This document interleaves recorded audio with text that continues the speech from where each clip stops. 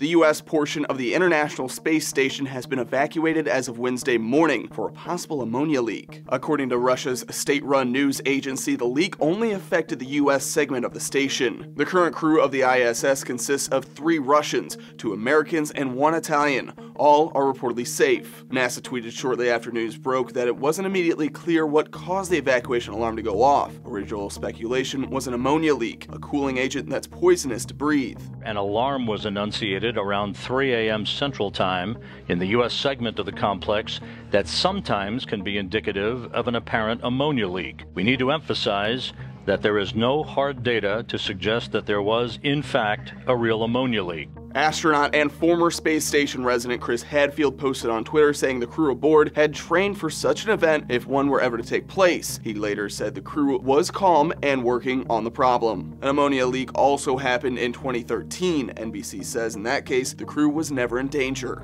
The American astronauts have moved to the Russian side of the space station until further notice. Stick with Newsy for more updates. For Newsy, I'm Matt Moreno.